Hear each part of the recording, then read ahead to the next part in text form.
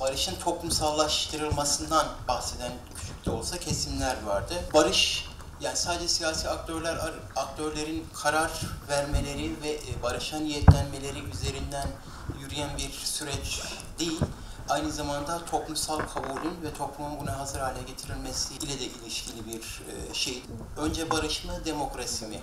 Demokrasi olmadan barış olur mu? E, Barış olmadan demokrasi olur mu? Bu tartışma aslında önemli bir tartışmaydı ama o hırgür içerisinde dönemin iktidarının e, kanaat teknisyenlerinin ciddi bir saldırısına maruz kalmıştı. Barış ya da demokrasi ikisini birbirinden ayırdığımızda çok rahat ilerleyebilme şansımız yok.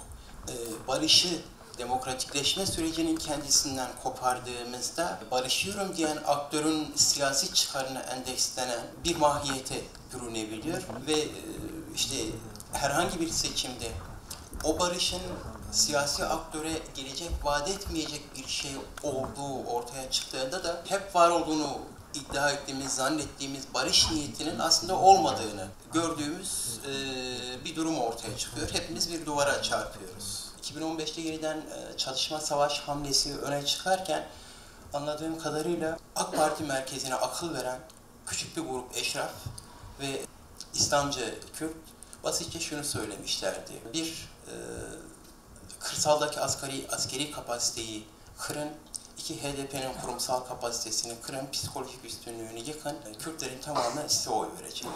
AK Parti istediği siyasi zaferi bir türlü buna rağmen elde edemedi. Üstelik toplum içerisinde beslediği, imtiyazlı kaldığı birçok e, seçkinin e, Kürt toplumu seçkinin varlığına rağmen muhalefet sanırım bazı bir şeyi anlamakta henüz Kürt toplumu içerisindeki bir refleksi anlamakta zorlanıyor. Kardeşlik söyleminin getirdiği bir tükeniş var. Kardeşlik değil, e, eşitlik, hakların eşitliği temelinde bir siyasal söylemi e, yeniden kurmak, HDP'nin Türkiye'leşmesi gerçekten isteniyorsa Türkiye'deki ana muhalefete kalmış bir borç olarak onların sırtında.